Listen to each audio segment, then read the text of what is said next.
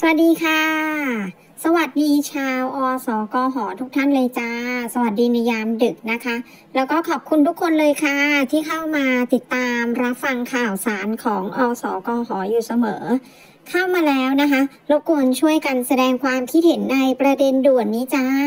นะว่าเพื่อนๆคิดเห็นอย่างไร ไม่ว่าคุณจะเป็นแฟนคลับของพระราชินี หรือว่าแฟนคลับของทางเจ้าคุณพระ แล้วก็ด้อมใหม่ของทาง ท่านผู้หญิงออนอนงด้วยนะคะ เพราะตอนนี้กำลังขิงกันอย่างแรงเลย ในบรรดาสามคนนี้นะที่มีข่าวสลับกันไปสลับกันมา เพราะว่าที่ผ่านมาที่มีการเปิดตัวของทางท่านผู้หญิงออนอนงทันใดนั้นนะคะ ความมีเกียรติอะไรทั้งหลายแหละก็พรั่งพรูไปที่คุณแม่ปลาณีอุ่นพรมเพราะเดี๋ยวก็จะเป็นการน้อยหน้าแก่กันและกันนะคะ คนนั้นได้แบบนี้ทำไมฉันไม่ได้แบบนั้นนะคะ เพราะฉะนั้นก็เกลี่ย เฉลี่ยให้เท่าๆกัน จะได้ไม่เป็นการเสียหน้าด้วยแล้วก็เสียอกเสียใจด้วย ที่ผ่านมาหลังจากมีการเปิดตัวท่านผู้หญิงออนอนงไปแล้ว หลังจากนั้นนะคะก็น่าจะเป็นซีนของทางพระราชินีเนาะเพราะก็มีการซ้อมพิธีสวนสนามทำให้เรียกว่าทั้งประเทศนั้นก็ชื่นชมทั้ง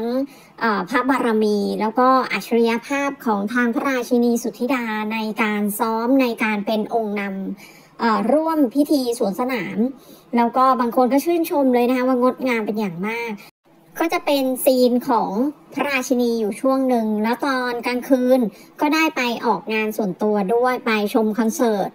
ก็มีซีนหวานๆออกมานะคะ หลายๆ คนก็ยิ้มได้เลย โดยเฉพาะแฟนคลับของพระราชินีหลังจากที่โศกเศร้ากันมานานเนาะเราต้องยอมรับว่าในช่วงเวลาที่มีข่าวของอีกคนหนึ่งอีกคนหนึ่งก็ต้องเสียใจ อันนี้เป็นเรื่องปกติ เพราะว่าถ้าสมมติว่าเป็นชาวบ้านธรรมดาเราก็รับรู้ได้เนาะในลักษณะแบบนี้ ทีนี้ก่อนหน้านี้พอมีข่าวของทางท่านผู้หญิงออนนงฝ่ายของพระราชินีก็รู้สึกเสียใจนะคะหมายถึงพวกบรรดาแฟนคลับนะเขาก็บอกสงสารพระราชินีจังเลย พระราชินีทำอะไรไม่ได้หรออะไรแบบนี้ แล้วเราก็เคยออกข่าวมาแล้วว่ามันก็คงจะต้องอยู่ในสภาวะของการอยู่เป็นเนาะต้องต้องอยู่ให้เป็น ต้องเย็นให้พอต้องรอให้ได้ เพราะถ้าเกิดว่ากระตกกระตากแสดงอะไรออกมาเกินหน้าเกินตาก็จะดูไม่งาม แล้วก็อาจจะมีปัญหาตามมาในภายหลังก็ได้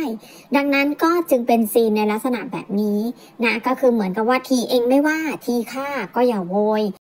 หลังจากเสร็จสิ้นพิธีซ้อมสวนสนามไป แล้วก็มาต่อด้วยงานคอนเสิร์ตนะคะ หลาย ๆ คนก็ชื่นชมมีความสุข ทีนี้คลิปนะยังแชร์กันไม่เสร็จเลยจ้ะ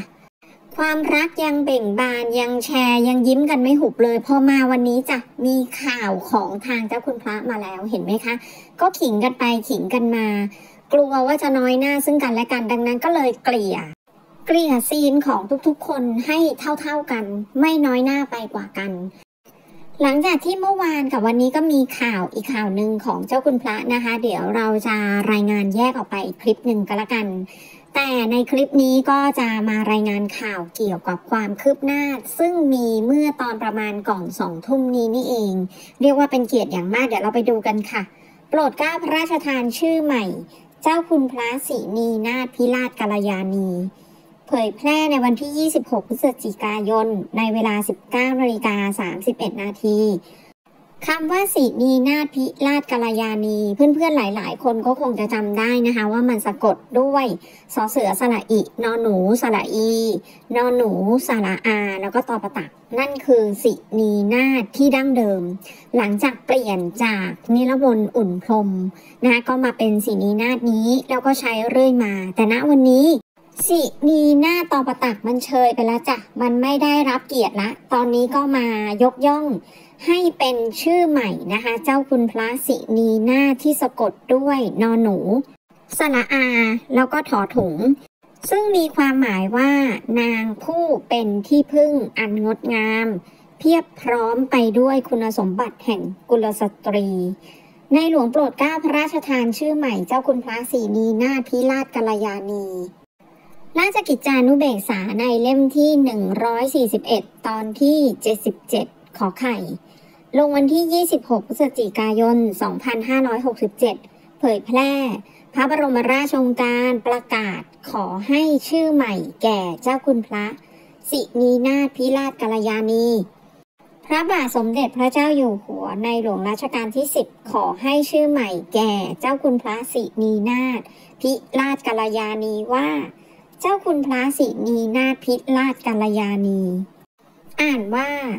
เจ้าคุณพระสินีนาถพิราชกัลยาณี นางผู้เป็นที่พึ่งอันงดงาม เพียบพร้อมไปด้วยคุณสมบัติแห่งกุลสตรี ขอจงมีความสุขสวัสดิ์เจริญเทิน พระที่นั่งอัมพรสถาน ลงวันที่ 17 สิงหาคมพุทธศักราช